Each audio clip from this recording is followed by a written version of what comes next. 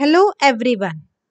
I, Mrs. Vineeta Philip, Assistant Professor in Department of ENTC Engineering of AISSMS Institute of Information Technology, Pune, welcome you all for my video pertaining to the subject Employability Skills Development of 2019 Pattern SPPU.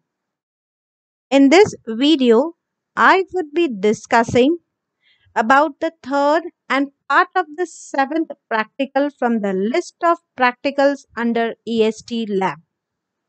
I hope the activities discussed in this video would help to enhance skills among the viewers. The first part of my video discusses about team building. So teamwork is the collaborative effort of a group to achieve a common goal or to complete a task in the most effective and efficient way. The full form of team goes as together everyone achieves more.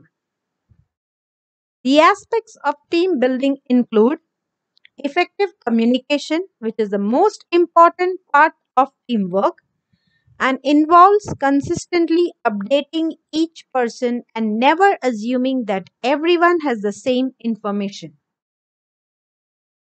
The next delegation means that teams that work well together understand the strengths and weaknesses of each team member and most appropriate tasks need to be allotted to the most appropriate team member. Efficiency means that a strong and cohesive team develops systems that allows them to collaborate efficiently to complete tasks in a timely manner.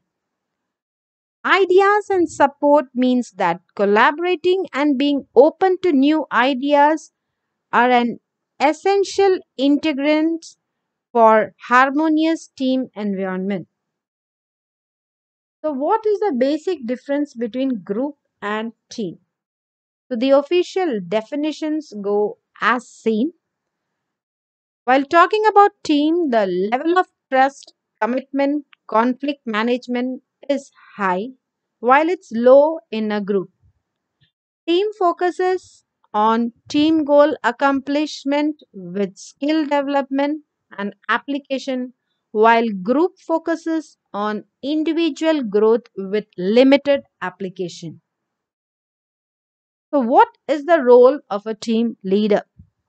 A team leader is a person who provides guidance, instruction, direction, and leadership to a group of individuals for the purpose of achieving key results.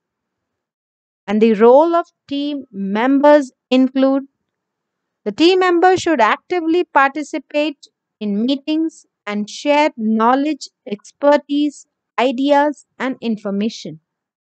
He should respect others' contribution. He should be a good listener and listen carefully and ask questions. A team member should be an enthusiastic person. So, here's an exercise to test your teamwork skills. The viewers are requested to read the question and give marks as allotted here. So the higher the score, thumbs up for you being a great team member. The next part of my video discusses about reading skills.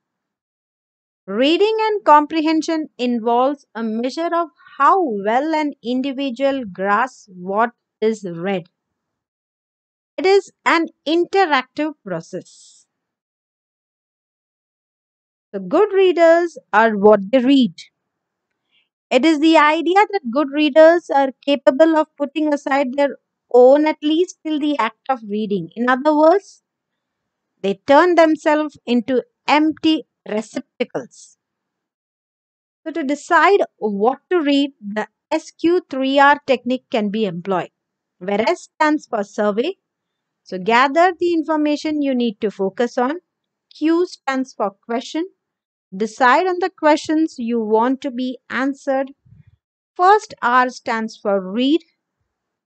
So look for the answers for the questions you have. Second R stands for recite.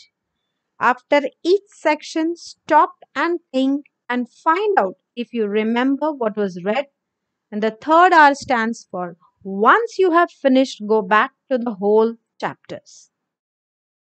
Now, reading rates vary for memorization, learning, comprehension, and skimming. There are also various problems related to reading that the readers face. Some of the common problems are boredom, not following what is being read, or disagreeing. So, to be an effective reader, one needs to be attentive. Don't talk to yourself. Don't keep reading the same. And vary reading rate according to the text. So, here's an exercise to test your reading skills. Viewers are encouraged to do as directed. There are 12 questions, just 5 minutes to do it. Write answers for the question, and above all, read through all the questions before beginning. So, these are the 12 questions. The interpretation of this exercise goes as that if you have answered more than two questions, then you need to improve onto your reading skills because you need to have answered just the first two questions. So, read instructions carefully. Happy reading to all the viewers. Thank you for watching.